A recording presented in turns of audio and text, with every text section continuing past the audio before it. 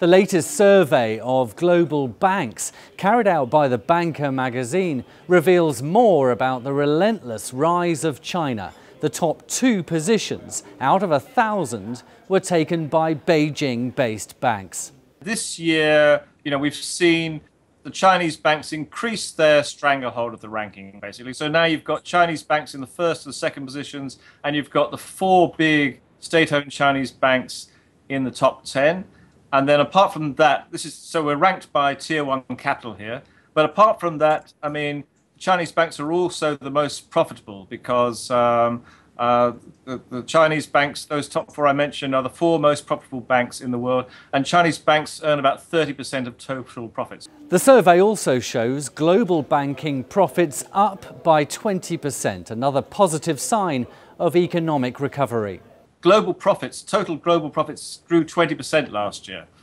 So that's the first time we've seen a big increase like that since before the financial crisis. They were around about 750 billion before the financial crisis. Then they dipped a bit and they kind of sort of struggled and recovered uh, last year to where they were before the crisis. But this year we've seen a sort of 20% increase. So that's a massive uh, change, and that certainly seems to suggest that you know global banking is back to some kind of health. The findings underline the recovery in the Eurozone, but also show that US banks are making a comeback.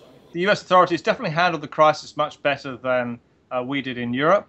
And, uh, you know, they put, uh, they first of all, they forced the banks to come clean on their bad assets much earlier than, than banks did in the Eurozone. So immediately you had a picture of, you know, what are, what are the problems? And then they, they pushed them to recapitalize early. And then you've seen because the U.S. Uh, economy has recovered much quicker than uh, than than Europe has.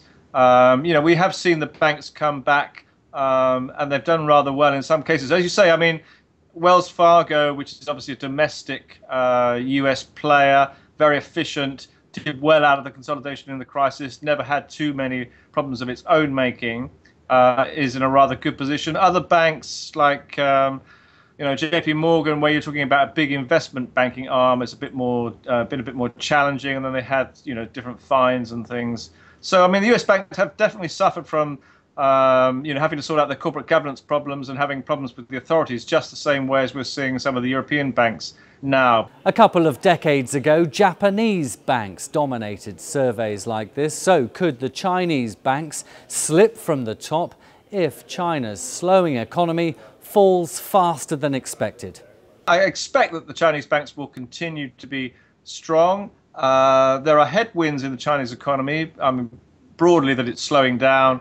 It's got a property bubble that's melting, and it's got this uh, this awful shadow banking sector, which could have reverberations on on mainstream banking.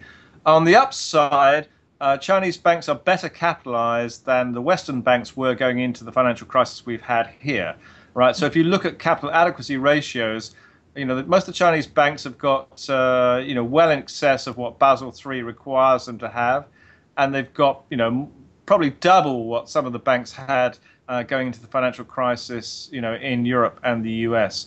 So it would have to be a pretty strong hit to really unseat them.